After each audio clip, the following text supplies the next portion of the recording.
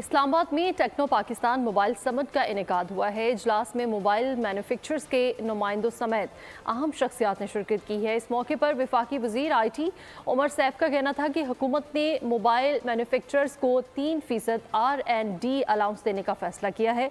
मुकामी सतह पर चार कंपनीज़ फाइबर केबल बना रही है। जुलाई, अगस्त में फाइव जी स्पेक्ट्रम नीलामी के लिए पेश करेंगे। नीलामी आसान शराइ पर रखेंगे। ऐसी पॉलिसी लाएँगे कि कंपनीज़ इंफ्रास्ट्रक्चर पर सरमाकारी कर सके। आने वाले दिनों में मोबाइल फ़ोन की बरामदात पर फोकस किया जाएगा।